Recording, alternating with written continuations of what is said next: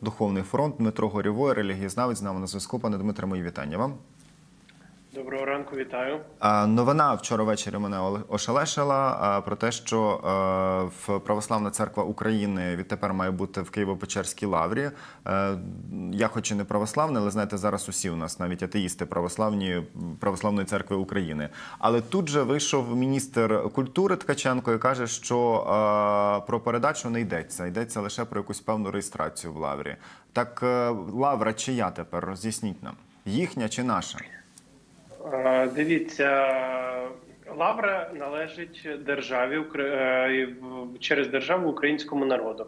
Е, Православна церква України рішенням свого синоду ще раніше подала документи, які чомусь блокувалися. Я так розумію, що блокувалися очільницею ДС Держетнополітники Олени Богдан. Але за дивним збігом обставин, як тільки почався розворот державної політики. Е, І як тільки почалися обшуки, введення санкцій, це рішення РНБУ по московському патріархату. В той же день було зареєстровано статут. Але як бачимо, Ткаченко е, з Богдан вони не хочуть е, все ж таки сприяти українській церкві, і вони кажуть: ну окей, ми зареєструємо цей статут, але передавати ми нічого їм не будемо. Ну я думаю, що. Е, Якщо дійсно політика держави розвернулася в проукраїнський бік, то і ці чиновники, і ці так звані слуги народу скоро отримують сигнал, і е, все ж таки е, православна церква України відновить історичну незал... ем, справедливість і повернеться до Києво-Печерської лаври, адже Києво-Печерська лавра була в складі е, більшість більшість своєї історії, понад 700 років. Вона належала до Вселенського патріархату, до Київської митрополії Вселенського патріархату, з історичною спадкоємицею якої є ПЦУ. І е, в два рази менше вона належала по часу московському патріархату. Тобто московський патріархат, якщо ми беремо таку е, історичну е, хронологію, історичну лінійку, має абсолютно менше прав ніж ПЦУ на цей духовний скарб українського народу.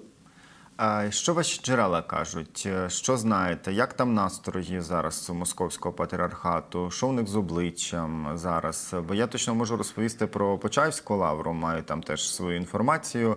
Е, Оціночне судження, так юридично маю сказати, це в цьому представництві руского міра на заході України зараз настрої такі валізні. Хтось на валізах, хтось в розпачі, всьому іншому. Як, е, як ви оцінюєте все це? Ну у випадку Почаївської лаври валізи е, там їм не ми не можемо сказати чемодан вокзал Росія. В їхньому випадку чемодан вокзал Молдова, тому що Почаївська лавра це е, великий осередок, я би навіть сказав, якоїсь молдовської діаспори в Україні. Е, Настрої в Києво-Печерській лаврі різні. Є як відверті.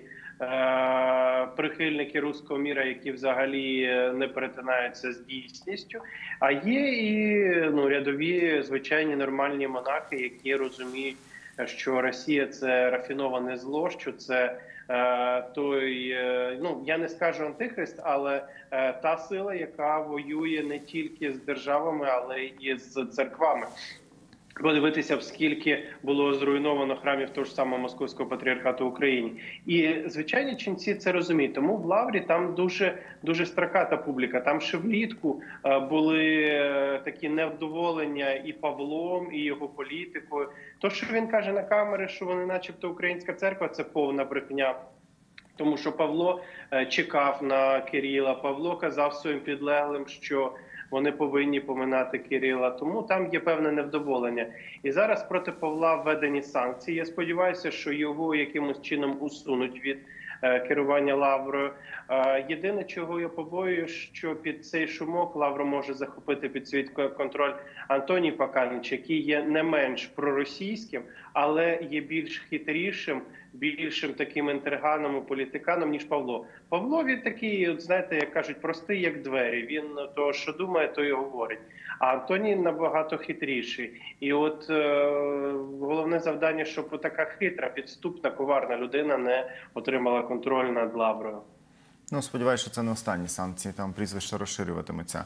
Щодо е, самої пропозиції РНБО, чи як правильно її назвати, рішення РНБО, яке вже введене в дію президентом, з того, що опубліковано, я перечитав, там немає жодного слова саме про заборону діяльності Української православної церкви та що Московський патріархат. Так про що йдеться? Так, ви абсолютно праві. Я теж уважно вчитувався. Там немає слова заборони, там є обмеження е, діяльності чи унеможливлення діяльності. Тобто, ми бачимо, що це такий певний м'який варіант. Поки не буде відповідного е, законопроекту, там же ж е, доручено РНБО доручило Кабміну е, розробити відповідний законопроект. Мені здається, навіть що цей законопроект буде розробляти не держетнополітики, профільний орган, тому що ми вже неодноразово з вами в цьому ефірі говорили про роль Олени Богдан, про її ставлення до московського патріархату. Мені здається, що їй не дадуть писати цей законопроект, тому що ну, ну це буде повний бред і нівеляція. Я думаю, що напевно цей закон будуть виписувати юристи мін'юсту, е, тому що е, він має з одного боку унеможливити діяльність московського патріархату, з іншого боку, не порушувати міжнародні норми, які Україна на себе ще скоріше взяла. Мова йде про дев'яту статтю Європейської конвенції з прав людини, яка захищає релігійні права і свободи. І тому я думаю, що в цьому світлі треба. Знаєте, е, трошки займатися такою правовою казуїстикою, щоб з одного боку е, в- де-факто по суті зробити все як треба, але в законодавчому нормотворчому такому аспекті не використовувати слів подразників. От, наприклад, слово заборона, воно для наших міжнародних партнерів воно є словом подразником. А якщо ми там скажемо, що, наприклад, е, діяльність московського патріарх... московського патріархату в Україні неможлива чи не допускається, не дозволяється, оце вже більш м'якіший варіант, тому що нам не можуть сказати, що це заборона. Тобто, я думаю, що ми тут маємо бути хитрішими, що ми маємо е, проти нас ведуть гібридну війну. Чому ми не можемо відповідати гібридно? Я думаю, що треба знаєте креативно підходити до цього.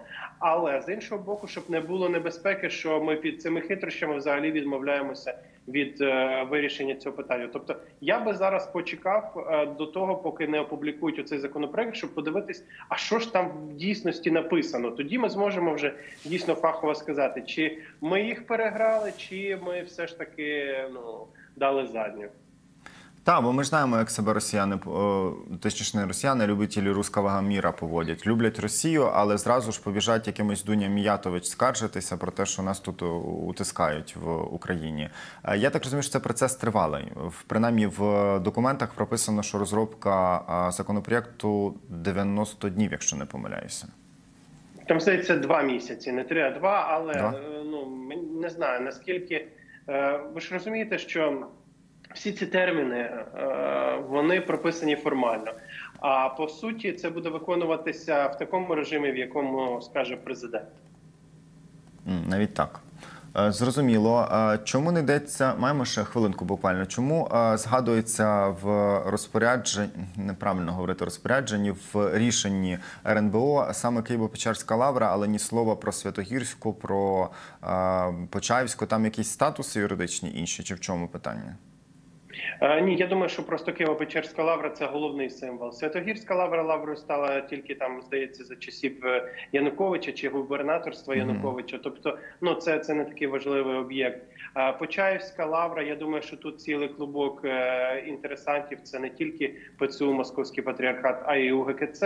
І я думаю, що спочатку треба е, вирішити питання головної лаври. Все ж таки, Києво-Печерська вона давніша, вона головніша, а вже потім братися за е, інші. Ну і вона в столиці, вона у всіх на виду. Все ж таки, Е, Почаївська лавра до неї, вибачте, що треба фізично дістатися. А Києво-Печерська лавра всі її бачать. От мільйони киян по- повз неї проїжджають майже щодня. Е, Дякую. Е, Дмитро Горьовий. релігієзнавець, з нами був на зв'язку. Спасибі вам за роз'яснення. Е, Об 11 повертаємось з новинами, тому не пропускайте оновлений випуск часу новин.